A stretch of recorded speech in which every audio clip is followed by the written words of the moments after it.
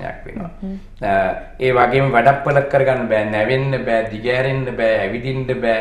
ඒ වගේම විශේෂයි දැන් දරු උපත්වලදී අධික තරබාරු අයට විශාල කරදර රාශියකට මුහුණ දෙන්න සිද්ධ වෙනවා. මිටිකම සහ ඒ උසේ ප්‍රමාණයට තියෙන බර නොතිබුණාම වැඩි වුණාම පස්සේ ඒ දරු උපත් වලට පවා විශාල කරදර වෙන අවස්ථාවල් තිබිලා තියෙනවා තියෙනවා. එතකොට බඩප්පලක් කරගන්න, නවන්න, ඇවිදින්න, කන්දක් නගින්න, ඒ හැමදේම අපි ගාවට සමහර වෙලට වෙනවා උස්සගෙන එන්නේ තරබාරුකම් වැඩි නිසා. එතකොට වාහනයක පටවන්න බෑ. වාහනයකට මේ කියන්නේ නැගගන්න බෑ. දැන් සාමාන්‍යයෙන් ගාක් මහතා ඉන්නවා ත්‍රිවිල් එකකටවත් නගින්න බෑ. දෙයියනේ කියලා. ඉතින් හරි මේ පවුලේත් හරි අපහසුතාවක.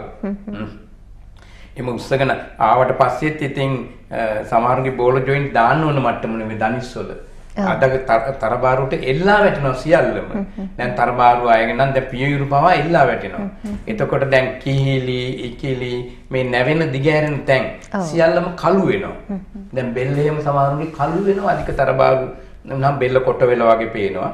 ඒ ඒක නිසා ඒ අධික තරබාරුවට මේ කළු වෙනවා. ශරීරයේ බොහෝ ස්ථාන කිහිලි, ඉකිලි නැවෙන ස්ථාන තියෙනවනේ. ඒ හැමතැනම කළු වෙන්න බලනවා. ඔය වගේ ඒ ඒ පැත්තෙන් එතකොට ආර්ථික පැත්තෙන් ඇඳුම් පැළඳුම් තීමක සාමාන්‍ය. එතකොට ඒ දැන් හදිසි අසනීපයක් ලෙඩක් දුකක් වුණත් බැරිලා වැටුණා කියමුකෝ. වැටුණොත් එහෙම ක්‍රේන් එකක් ගේන්න වෙනවා. නැගිටවන්න දූ දරුවන්ට බෑ. දූ දරුවෝ උස්සන්න බලනවා බලනවා අනේ අම්මා උස්ස ගන්න බෑ කියලා කෑක් ගන්නවා ඉතින්. ඉතින් වටපිට 10ක් 15ක් ඇහිලා තමයි මෙයාව උස්සන්න ඕනේ. වෛද්‍යවරයෙක් මෙත ගෙනියන්නත් අමාරුයි. දැන් ත්‍රිවිල් එක දැන් දුප්පත් වාහනේ ත්‍රිවිල් එකකින් ත්‍රීවිල් එකට දාගන්න අමාරු. ත්‍රීවිල් එක ඉඩ මදි අධික තරභාරු තියෙන අයට. එතකොට ඒ ඒ පැත්තෙන් වෙන හානි උස්සල ගන්න බැරි හානි අපහසු දැඩි අපහසුතාවය උස්සන්න බැරි අපහසුතාවය ওই බොහෝ අපහසුතා රාශියක් වෙන වෛද්‍යරය ළඟට ගේනකනුත් ගෙනාවට පස්සෙත් ඉතින් ඒ අපහසුතා එනවා. හුඟා ප්‍රශ්නයක් දූ දරුවන්ට උස්ස ගන්න බැරි එක අම්මව. අම්මට ආදරෙයි. අම්මා උස්ස ගන්න බෑ. ඉතින් දරුවන්ටත් දුකයි මේ මේ උස්සගෙන අවශ්‍ය ප්‍රතිකාර ලබා දෙන්න බැරිකම. ඉතින් අපි බැන්ඩේජ් එකෙන් වෙලුමක් බැන්දත් අඩු ගානේ මේ මේ රුධිර පීඩනය බලන්න පටියවත් දාගන්න බෑ. අධික ඒවට වෙනම විශේෂයෙන් සකස් කරන්න වෙලා තියෙන්නේ. ඒ වගේ ඒ වගේ කොන්දේ අමාරු. අධික තරබාරුකමට කොන්දේ අමාරුවද? කොඳුයට පෙළේ අමාරුවද? දනිස්වලද? විලුඹෙද? නැගිට ගන්න බෑ ඇවිදින්න බෑ කඳු නගින්න බෑ.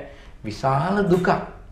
සමහර හිතනවා මහතකම දැන් සමහර වෙනවනේ මේ මේ මේ මහත් වෙන්න අයත් වෙනවනේ කලාතුරකින්. ඒ මහතකමේ විපාක දන්නේ නැති අය. ආ කෙට්ටු නම් නිරෝගී නම් කෙට්ටුකම අවුලක් නැහැ. පුජ්‍යලයා නිරෝගී නම් කෙට්ටුකම අවුලක් නෙවෙයි. කෙට්ටුකම හොඳයි. නිරෝගී. ඒ වගේ ඒවා සිද්ධ වෙනවා. හොඳයි වෛද්‍යතුමනි අපි කතා බහ කරේ මේ තරබාරුකමත් එක්ක මේ කොච්චර යම් කිසි ආකාරයකට අපහසුතාවයන් වලට ලක් වෙන්නට වෙනවද කියන කාරණාව? තරබාරුවට ලක් ඒ රෝගය තියෙන කවුරුන් හෝ ඒ රෝගය තියෙන අය තමයි මෙහි තියෙන අපහසුතාවය දන්නේ. නේද වෛද්‍යතුමනි? ඒක මේ වචනේ ඇත්තටම. දැන් ත්‍රිවිල් එක ලෙඩේ කරගෙන ගියත් මම තහන සමහර වෙලාවට දැන් ත්‍රිවිල් එකේ තියෙන මීටරේ වැටෙන ප්‍රමාණයනේ. දුර දුවන ප්‍රමාණයනේ. නමුත් මේ අධික බර වැටුනහමත් මේ එන්ජින් එකට අර මේ ධාරිතාව වැඩි වෙලා. ඉතින් මං කියනවා මේගොල්ලන්ගෙන් කිලෝ ගානට අය කරන්න කියලා. හොඳයි තරබාරු කමට මේ වෛද්‍යතුමන්ගෙන් බෙහෙත් හේත් ගන්න ගොඩාක් දෙනෙක් එනවා කියන එක තමයි ඒ කතාවෙන් කියවුනේ වෛද්‍යතුමාගෙන්. වෛද්‍යතුමනි දැන් බාහිරව සහ අභ්‍යන්තරව බලපාන වෙනත් හේතු සාධක තියෙනවද මේ තරබාරුව ඇති වෙන්න? තරබාරුව ඇති වෙන්න හේතු බොහෝ ආහාර රටා. ඔව්. අවශ්‍ය ව්‍යායාම සහ විවේකී අවශ්‍ය වේලාවට නොගැනීම. බොහෝ දුරට අද කාලේ ව්‍යායාම අඩුක අඩුකම හුඟා දෙනකොට තියෙන ආර්ථික ප්‍රශ්න සහ සල්ලි හොයන්නම දුවන දිවිල්ල නිසා දුවන දිවිල්ල නිසා මේ ශරීරය ගැන අවධානය යොමු කරන්න නොලැබීම. අද ව්‍යායාම හොඳටම අඩුයි. ඇවිදි ඇවිදීම අඩුයි හොඳටම හැමෝම වැඩ කරන්නේ ටොයිලෙකට එකට යටත් වාහනයක යන්න ඕන මට්ටමට මිනිසුන්ගේ කාල වේලාව මදිකම. රැකී රක්ෂාවල් වලට දිවීමේදී කාර්යාල වැඩ කටයුතු කිරීමේදී අනිකුත් සියලු කටයුතු වලදී හුඟක් අයට ව්‍යායාම් කරන්න වෙලාවක් නැහැ කියන එක තමයි බොහෝ දෙනා කියන්නේ. අද රට පුරාම බොහොම රට දියුණුවයි සංවර්ධනය දියුණුවයි මම මාවත් හදලා තියෙනවා අපේ ජනතාවට ඇවිදින්න මම්පෙත් හදලා තියෙනවා රාශියක්. එතකොට ඒවා බොහොම හොඳ වැඩ. ඉතින් ඒවැනු ප්‍රයෝජනෙ ගන්න බොහොම අතලොස්සයි. අතලොස්සයි. ඇවිදින්නේ නැහැ. ඇවිදින්න වෙලාවක් නැහැ. ඉතින් එන්න එන්නම තරබාරුකම අධික ආහාර පාන වලින් ගත්තාම පස්සේ අධික තෙල් සහිත ආහාර ගැනීම හැමෝම අද gedara උයනට වඩා තෙල් වලින් පිරිච්ච රසායනික වර්ග වලින් පිරිච්ච කඩෙන් ගේන බුරියානි ෆ්‍රයිඩ් රයිස් වගේ වලට පුරුදු වෙලා තියෙන එක. ආහාර රටාවලට පුරුදු වෙලා තියෙන සීනි පිටි අනවශ්‍ය විදිහට භාවිතය, තෙල් භාවිතය, මස් මාංශ අනවශ්‍ය තෙල් සහිත මස් මාංශ භාවිතය දැන් දැන් කුකුල් මස් ආහාරයට බොහෝ දෙනෙක් ගන්නවා ඒවා ඇතින අනවශ්‍ය තෙල් ගති. ඒ වගේම ඒ මාංශවල තියෙන දැන් දවස් 45ට වගේ ඒ මස් කුක් සත්තු නිෂ්පාදනය කරලා වෙළඳපළට දානවා. ඒක හරියට કૃතිමව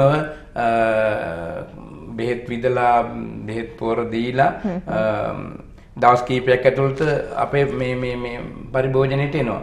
ඒක තනිකර මේ මේ විස ගුලියක්. මිනිස්සු ආසාවෙන් කෑවට විස ගුලියක්. ඒවා කන්න කන්න මේ අනවශ්‍ය තරබාරුව හිතා ගන්න බැරි තරම් විදිහට.